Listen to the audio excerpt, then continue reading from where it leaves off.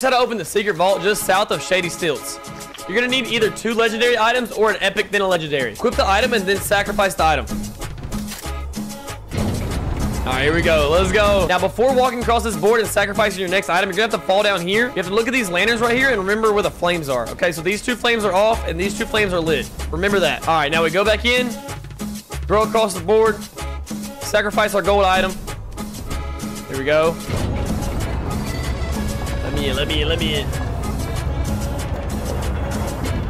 All right. Now remember the flames.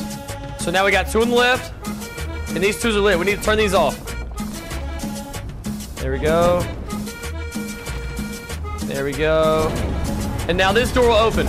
Here we go. Oh my goodness, bro. There's six regular chests and three epic chests. Yo, this loot's crazy. Look at all these ammo chests.